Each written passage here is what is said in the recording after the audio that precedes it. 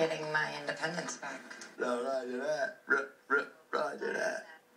See anybody you know down there? Yeah, Who? my friend Roger, and then his friend Nick.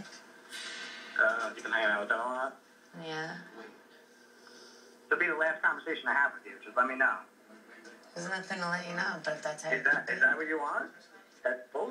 And I, like honestly, the fact that you even did this was is is I didn't do anything. That's the problem. I'm No, actually you really just having did, a good time and enjoying myself, unlike what I was able to do with you. wow. Are you? Did you really just say that to me? What? You really just said that to me. You don't have a good time with me? I do, but not lately. It's been hard, so I'm just trying to like breathe and hang out with friends and people that I know.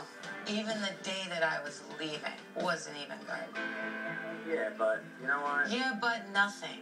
Yeah, yeah, So do I take that to heart? Yeah.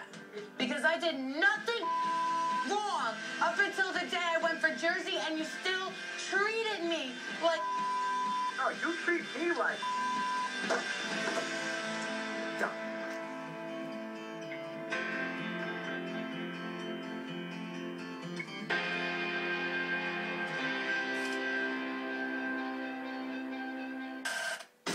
Monday.